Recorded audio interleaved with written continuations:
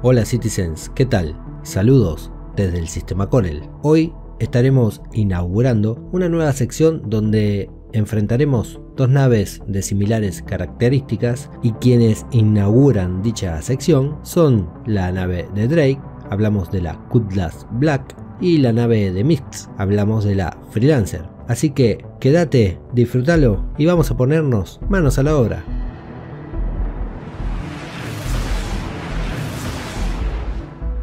Como dijimos, en esta nueva serie de videos compararemos naves similares en cuanto al rol o función que cumplen, o por qué no, que la comunidad se pregunta cuál me conviene, cuál comprar, este o aquel, cuál es mejor, cuál posee mejor armamento y todas esas dudas que siempre tenemos antes de adquirir una nueva nave ya sea dentro del verso o fuera de él. Veremos sus diferencias, fortalezas, debilidades. Como dijimos anteriormente, en esta primera edición enfrentaremos la Cutlass versus la Freelancer. Hay que aclarar que todos los valores que mostraremos son con componentes originales o de stock, como se suele decir, sin ningún tipo de mejora, tal como recibimos la nave ni bien la adquirimos. Para evaluarlas, vamos a dividirlo en 5 puntos. Hablamos de armamento y defensa, velocidad, estructura, maniobrabilidad y valores de mercado. En lo que refiere a maniobrabilidad, podemos observar que la Cutlass saca una mayor diferencia en cuanto al rol o al aveo respecto a la Freelancer.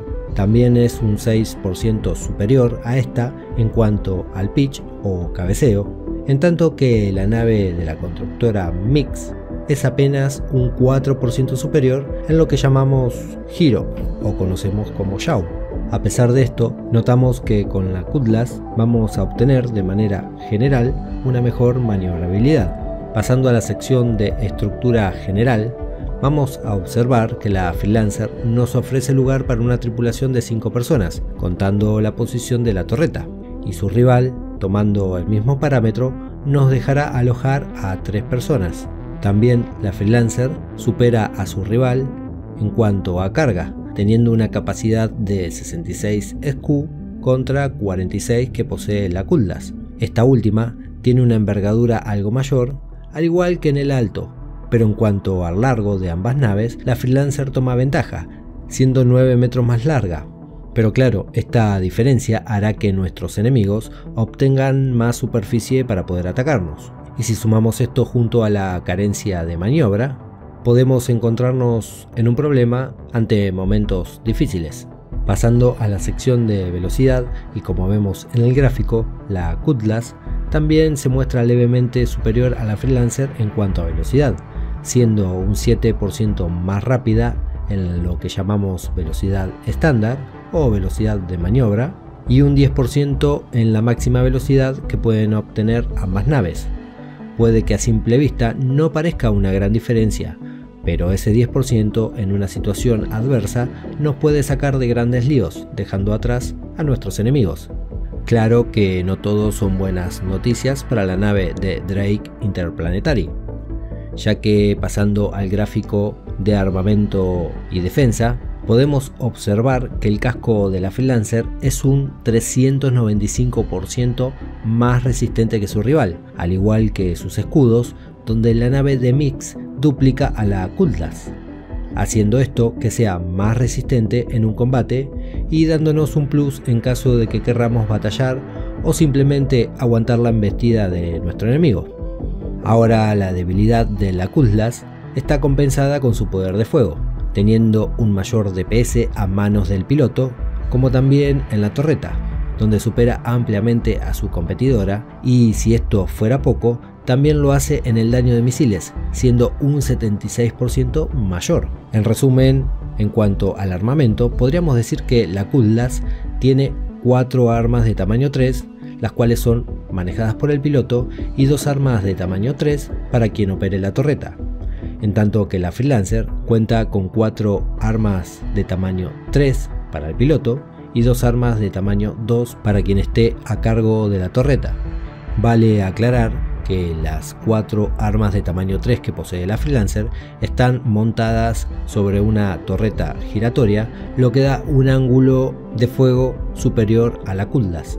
Por lo tanto, el piloto de la Freelancer estará mejor armado, pero la potencia total de fuego que posee la Kudlas es ligeramente mejor y más adecuada para oponentes ágiles. También la Kudlas, como dijimos, es superior en cuanto a misiles, ya que posee 6 anclajes de tamaño 4, mientras que la Freelancer tiene tan solo 2 de tamaño 4 y 2 de tamaño 3. Y si aún no te decidiste por cuál comprar, vamos a pasar a la sección del valor de mercado.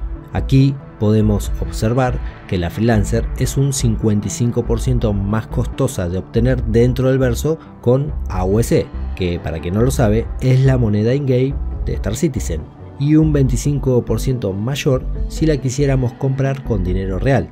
Si las quisiéramos alquilar para utilizarlas en Arena Commander, y por el término de solo 3 días, la freelancer de Mix nos costaría un 58% más que la Kuldas. Vale la pena destacar que la impresión dada en estos videos no tiene por qué ser una ciencia cierta, sino más bien una guía global para ayudar a aquellos que aún se encuentran indecisos o quieren, por qué no, interiorizarse un poco más en los datos estadísticos de las naves que encontrarán dentro de Star Citizen. También sirve aclarar que estos datos, dado que nos encontramos en un alfa, pueden modificarse poco más, un poco menos, hacia futuro. Así que, en resumen, la Cutlass Black posee más misiles, es algo superior en maniobrabilidad, velocidad y potencia de fuego, así como también es mejor para realizar transporte de corta distancia. Además, su costo también es inferior.